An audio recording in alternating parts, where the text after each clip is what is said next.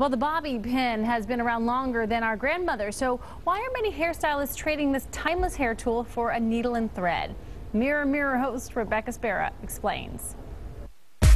Salon owner David Bamford isn't a fan of bobby pins. All of us have been at a wedding and like, you know, come midnight, everyone's hair's oh, coming undone. That's why he uses a needle and thread instead. Hair sewing is faster than the typical updo, lasts twice as long, but costs about the same.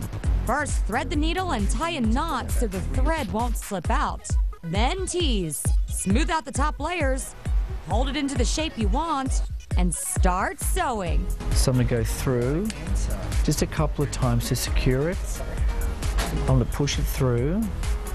And to really secure each one, I'm going to get the end of it and pull it in like a blanket stitch and that really locks it into place. You can already see already, I can let my hand go and it's not, it's not budging. Then add more pieces from the sides. So I'm just grab that and just loosely place it where I want it to go, find my, my needle and thread again, and just catch it into place and secure it with one or two little blanket stitches. Here we have her finished in under five minutes. Nice and tight. It still has that nice loose look like you've dragged your fingers through it and no pins.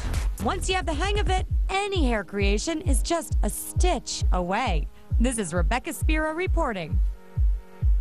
You can catch all Mirror Mirror episodes on our Live Well network. It's channel 9.3.